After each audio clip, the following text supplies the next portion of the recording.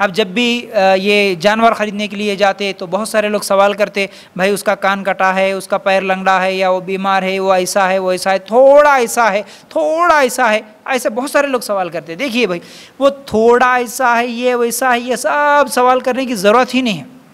कुछ भी नहीं। बग़ैर किसी आयब का अच्छे से अच्छा जो जानवर है, वही क़ुरबानी के लिए जायज़ है। अगर उसमें ज़रा बराबर भी आयब है अब वो कान कटा है, लेकिन वो इसके लिए लगाए थे, वो उसके लिए लगाए थे, ये करे थे, वो करे थे, कुछ भी सवाल नहीं। बग़ैर ऐब का जो अच्छा जानवर होता, सेहतमंद, वही जानवर क़ुरबानी के लिए आप ख़रीद लीजिए। जैसा हम लोग अपने लिए कोई चीज़ ख़रीद रहे, यानी बाइक ख़रीद रहे भाई बाइक शोरूम में गए मोबाइल ख़रीद रहे भाई। मोबाइल के लिए गए दुकान में, जाने के बाद अगर उसमें देखे, अगर वो बेचने वाला दुकानदार अगर ये बोले, भाई थोड़ा एक मरतबा जो है ना एक कस्टमर देखते देखते नीचे गिरा, थोड़ा जो है ना उसके ऊपर एक लकीर पड़ गई है, या स्क्रीन जो है ना थोड़ा सा ऐसा ख़राब हुआ है, एक जगह इसके ऊपर धब्बा आया है, फला, ज़रा भी अगर थोड़ा भी ऐप बताए, क्या कहेंगे? ले लेंगे क्या? नहीं लेते ना। गाड़ी अगर एक मरतबा गिरी हुई है शोरूम में रखी हुई नई गाड़ी खरीदने के लिए गए, नहीं भाई, एक ही बार नीचे गिर गई थी थोड़ा सा खराश यहाँ पर आ गया थोड़ा सा लकीरें पड़ गए फलाम हुआ, ख़रीद लो, ले लो। ले लेते क्या? नहीं लेते ना। इसी तरह ये थोड़ा बिल्कुल छोड़ दीजिए। ज़रा भी नहीं होना, आयब नहीं होना, ऐसा अच्छा जानवर क़ुरबानी के लिए ख़रीदना चाहिए। अब उसके बाद, उम्र कितनी हो? जानवरों की उम्र के ताल्लुक से बहुत सारे लोग सवाल करते हैं आ, ये कौन से कितने साल की होना क्या होना याद रखो।